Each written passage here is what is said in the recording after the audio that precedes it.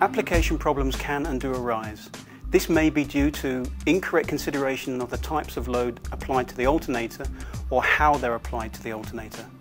In this video we discuss some of the common problems and what Mecc Alte can do to help in sizing the alternator correctly. As a component supplier to the complete genset, Mecc Alte is rarely aware of any specific application. When we are made aware and requested to assist, we will do so. On the Mecc Alte website, in the download area, you will find the Mecc Alte Sales Assistant.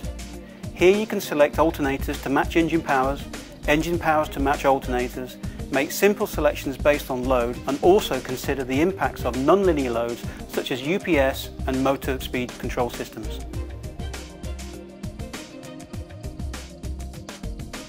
If you have a mix of three-phase and single-phase loads, then the single-phase loads should be equally distributed on the three phases. In this event, please ensure the individual phase rating is not exceeded.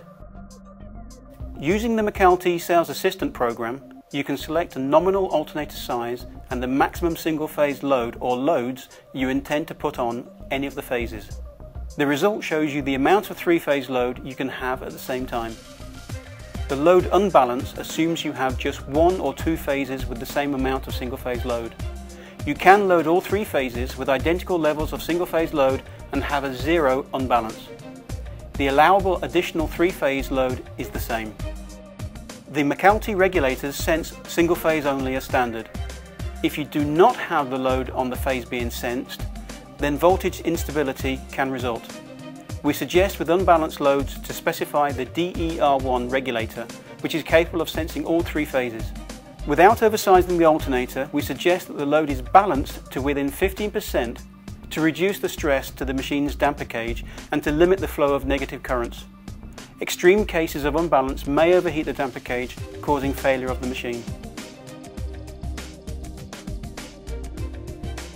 Loads that can create harmonic currents and directly affect the voltage distortion from the alternator include rectifiers, UPS systems, variable speed drives, soft start systems and switchable power supplies. These loads are known collectively as nonlinear loads. A high content of nonlinear load relative to alternator rating needs careful consideration. Such considerations include the heating effects of the current harmonics, the load-induced current distortion, resulting voltage distortion, and the size and subtransient reactance value of the chosen alternator. Most of the time, the load data is not available. For very high content nonlinear loads, a general guide will be used. For 12 pulse UPS systems, an oversize of 5% is typical, while a 6 pulse variable speed drive will be 25 to 30% oversize. This assumes harmonic filters are not added to the supply system. Armed with the Mecc Alte alternator datasheet of the machine selected, you can use the Sales Assistant to assess any resulting voltage distortion from the alternator. The voltage distortion level may or may not be accepted by the supplier of the nonlinear load. If not, then a larger machine is selected until acceptable parameters are reached. The oversize should allow for the heating effects caused by the current harmonics. Three preset levels of current distortion are shown in this program. Please select one. The 10% is typical for a 12 pulse UPS system and 30% typical for a 6 pulse variable speed drive. You may also choose to change individual harmonics if you have a full spectrum from the load supplier.